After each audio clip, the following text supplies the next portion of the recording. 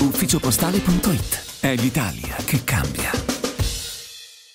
Colpi di mitra sparati in A14. Terrore in autostrada questa mattina per il tentato assalto ad un portavalori. L'incubo è iniziato alle 7.30 tra Pescara Nord e Pescara Ovest alla confluenza con l'allacciamento con la A24.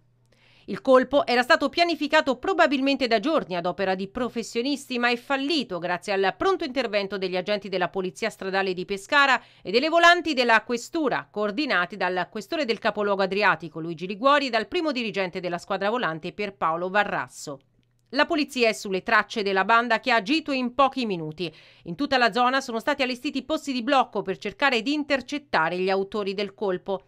Ma oltre al terrore seminato tra gli automobilisti in viaggio questa mattina, i disagi alla viabilità sono pesantissimi. Traffico quasi paralizzato lungo la strada statale 16 tra Pineto e Pescara. I mezzi che viaggiavano in autostrada infatti si sono riversati lungo la statale Adriatica procedendo a Passo Duomo.